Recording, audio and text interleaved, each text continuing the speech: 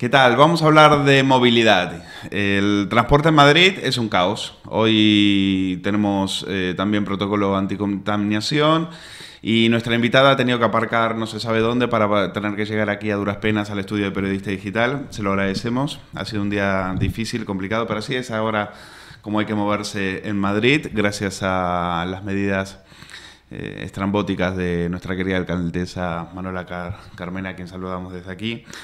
Y vamos a hablar con alguien que sí sabe mucho de este tema de movilidad, que nos va a contar eh, por qué hemos llegado a esta situación y qué hay que hacer para, para, revertir esto.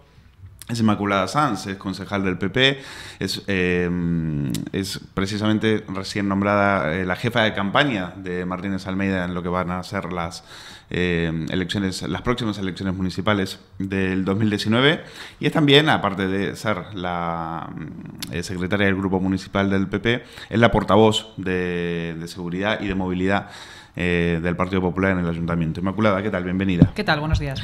Muchas gracias. Inmaculada, aquí contabas, contábamos precisamente eso, una, te acaba de pasar, es decir, has tenido que aparcar no se sabe dónde para, tener, para poder llegar hasta aquí a, a los estudios. Es una situación Em, vamos a decir, eh, ya no es que sea incómoda, es caótica. Es decir, mover así, porque bueno, en tu caso, porque venías a una entrevista, pero hay gente que tiene que llevar a los chicos al colegio, hay repartidores que tienen que hacer su trabajo y no pueden, eh, hay gente que no puede llegar, no puede aparcar, tiene que entrar a trabajar a las 6 de la mañana y no tiene dónde aparcar. Entonces, em, ya no es una cuestión de comodidad de ir o no ir en el coche, es una cuestión de que eh, impide hacer tu trabajo, impide hacer tu día a día. De necesidad, bueno, yo precisamente vengo eh, hoy es el único día que he podido llevar a mis hijos al colegio esta semana y precisamente eh, pues he tenido que venir después de dejarles en, el colegio y, es verdad que, te supone una incomodidad tremenda, pero que hay mucha gente que aparte de una incomodidad le impide desarrollar su, actividad laboral normal, está claro.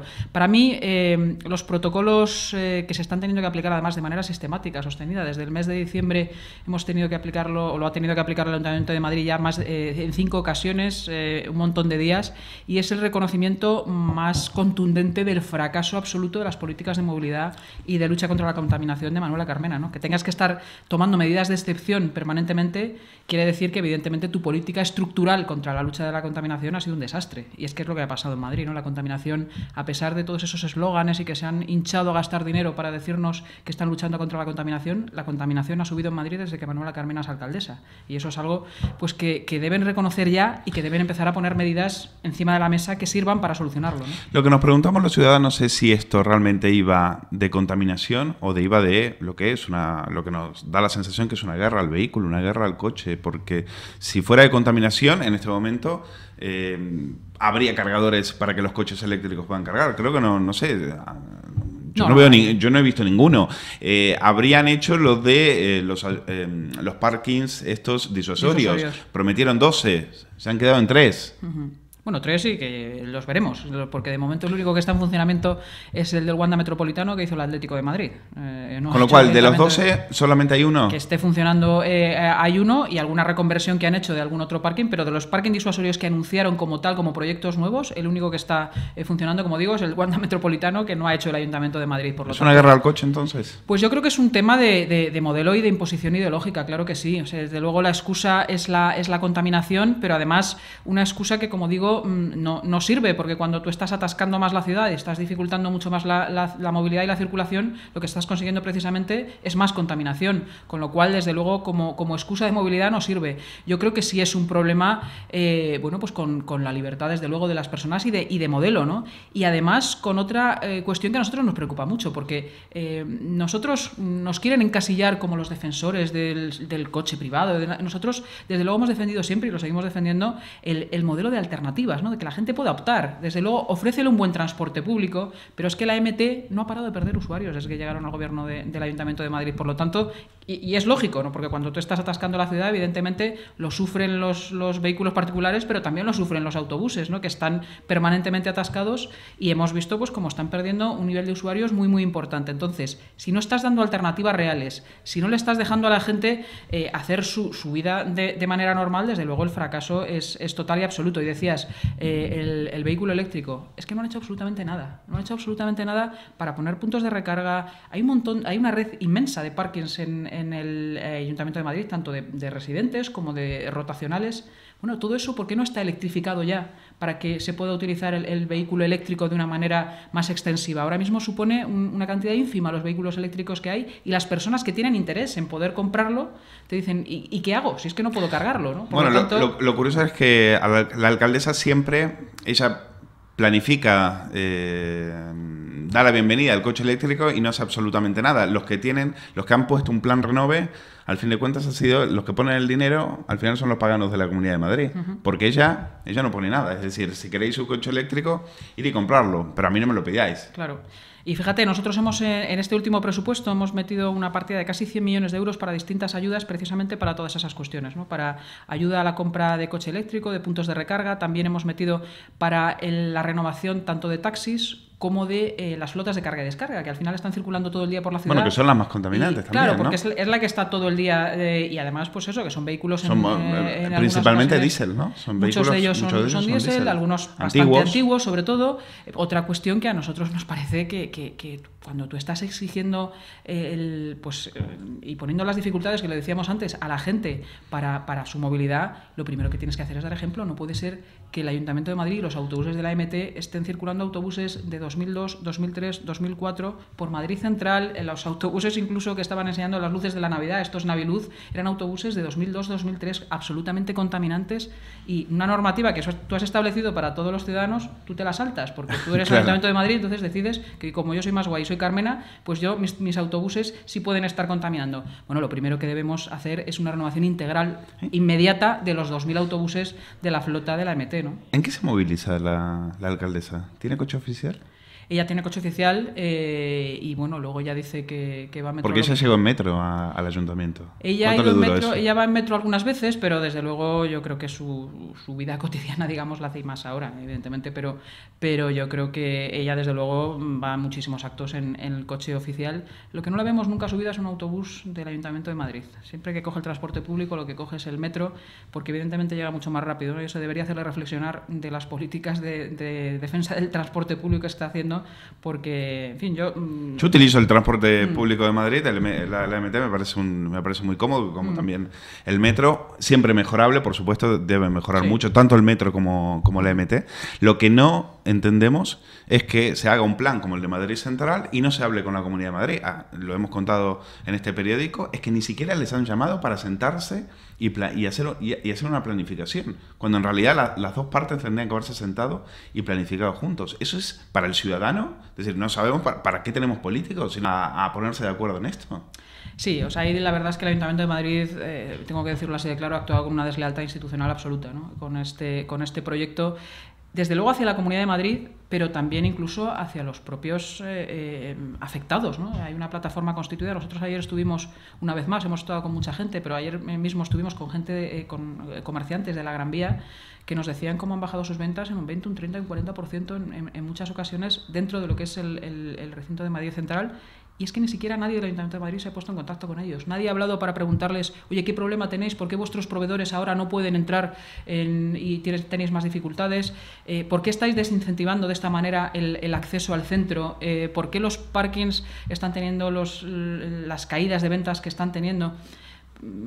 Todo, ¿no? Es decir, hoy vemos que parece que se va a solucionar la cuestión de los abogados de los eh, turnos de oficio para que sí que puedan entrar, porque tampoco les permitían. Están funcionando a matacaballo, dando mm, una sensación de improvisación absoluta, pero evidentemente la gente tiene que trabajar y tiene que vivir. Es que hay casos puntuales. Por ejemplo, un camarero que vive en Guadalajara y entra a las 6 de la mañana a trabajar, ¿qué hace? Porque a las 6 de la mañana o vienes en coche, porque en transporte público no puedes venir. Con lo cual, tienes que venir en coche. ¿Qué hace?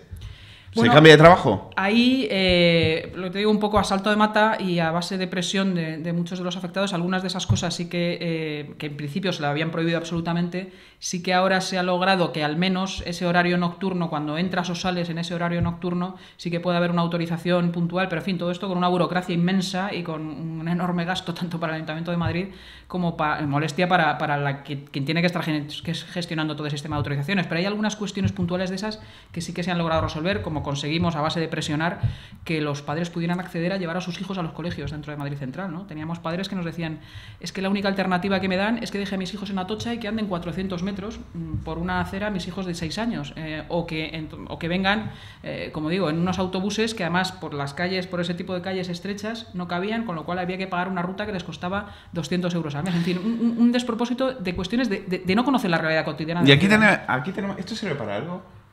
A 70 kilómetros por alta contaminación, ¿esto sirve para algo? Pues eh, eh, francamente no creemos que sirva para, gran cosa porque eh, evidentemente la, no, es tanto una cuestión de velocidad lo de la contaminación, sino del propio motor del coche. Quiero decir, depende de cómo conduzcas a 70 kilómetros por hora, puedes, puedes contaminar más que a 90 kilómetros por hora y además a 70 kilómetros por hora estás más tiempo en, en, la vía, ¿no? Por tanto, estás más tiempo emitiendo.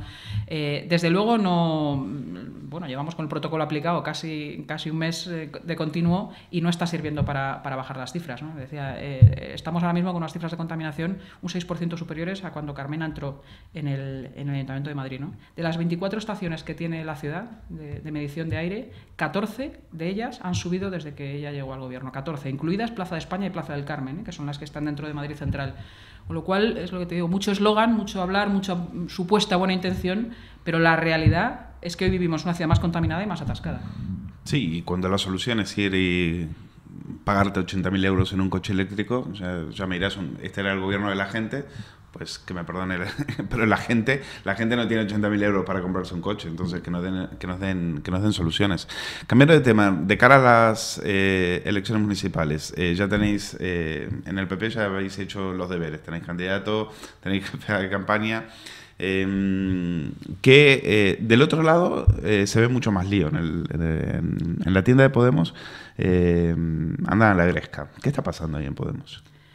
Bueno, yo creo que desde luego lo que hemos visto durante todo el, mandato, ¿no? Yo como concejal del ayuntamiento lo hemos visto en multitud de ocasiones en los plenos cómo eh, pues, pues, eh, votaban cosas distintas, eh, proyectos de la alcaldesa, los concejales le votaban en contra. O sea, es verdad que eso es un, bueno, pues al final es un grupo de grupos. Hay momentos en los que Carmen estuvo muy sola, ¿no? Sí, sí, absolutamente. Lo que pasa que al final yo creo que es una agrupación de intereses, francamente, una agrupación de intereses y de no querer perder una posición que algunos han ganado y que en su vida soñaron que podían ganar, ¿no? Eh, como algunos que salieron de piso de Vallecas del que nunca iban a salir y ahora viven en un chalet de Galapagar, pues en el Ayuntamiento de Madrid también pasa con los concejales de Podemos un poquito eso. O unas que no tenían futuro, ¿no? Unas llamadas Rita que no tenían futuro y, ahora, se casan en fincas de de lujo Así es, de debe ser las eh, incoherencias con las que cabalga la izquierda, que decía don Pablo Iglesias, ¿no? Pero eh, es un grigay, francamente es un grigay, y eso, el problema a mí ya no me preocupa tanto por Podemos, que allá se las entiendan, me preocupa por lo que afecta al, día a día del ayuntamiento, ¿no? No sabemos si la Operación San Martín va a poder salir o no, porque ni entre ellos se ponen de acuerdo.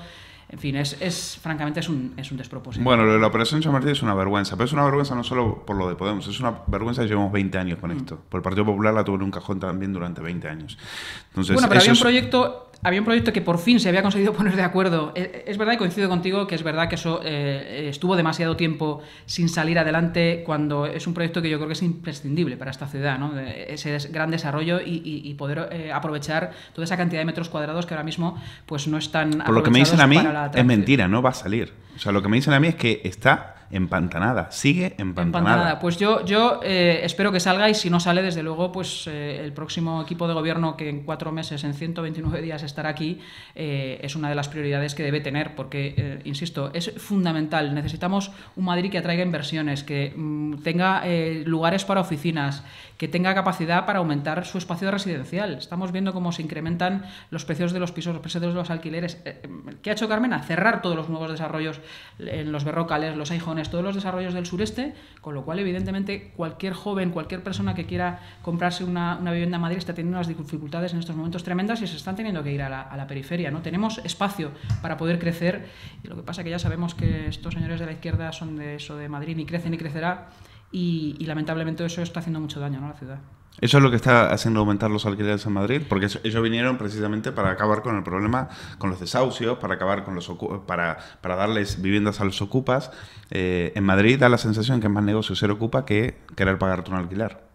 Bueno, es que eh, ellos llegaron con aquello, no sé si recuerdas, de los eh, 25.000 niños desnutridos que había en la ciudad y los desahucios. Al día siguiente de que Carmen entrara en la ciudad ya no había un problema de niños desnutridos. Es que las mismas ONG le dijeron a Carmen, eso es mentira, deja Claro. de decir mentiras. Claro, porque además, eh, hombre, Madrid tiene unos servicios sociales, eh, yo creo que de, de- ciudad importante, que es lo que es, y evidentemente hay personas que viven situaciones complicadas, y eso no, no lo vamos a negar, pero es evidente que eso era una gran mentira. Y, y es evidente que la cuestión, por ejemplo, de los, eh, de los desahucios y de las situaciones que viven algunas personas, se, bueno, pues se han seguido dando durante todos estos años, y, y Carmena no ha paralizado un solo desahucio en la ciudad de Madrid. Pero eh, volviendo a lo de los, a la cuestión de la vivienda, es evidente que cuando tú limitas la oferta, pues que no- hay eh, han paralizado como digo, miles de viviendas en la zona de los desarrollos del sureste. La operación Chamal está todo eh, en- bueno pues pues sin, posibilidad de desarrollo ni siquiera en los próximos años. Por lo tanto si tú no sacas suelo y no sacas eh, espacio para poder construir nuevas viviendas evidentemente los precios tienen que subir Bueno, esperemos que, que esto cambie a partir de, a partir de mayo. Los madrileños están bastante hartos eh, y en mayo vamos a tener en las elecciones un invitado muy, muy especial, que es Vox.